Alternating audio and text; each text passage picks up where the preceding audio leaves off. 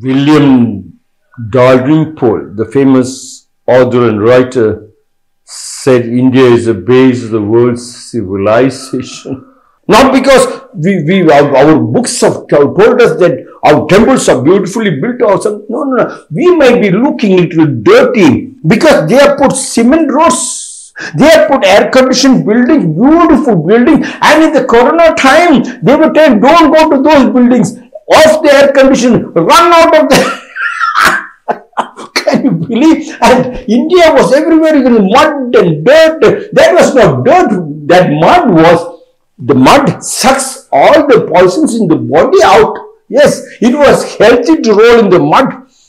Every wrestler in India knows they practice in the mud, roll in the mud. Only then they are very strong. now it is all halls, mats which creates diseases. That was not civilization. That is called divilization. Devils cities. Deaths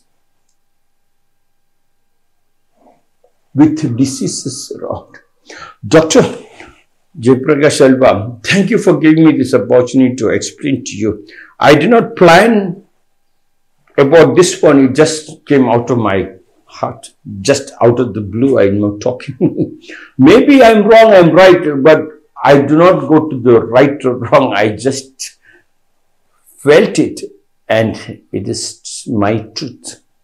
India is the base of all civilization. If you also practice the base of Shashtanga Namaskar and everything around you is God.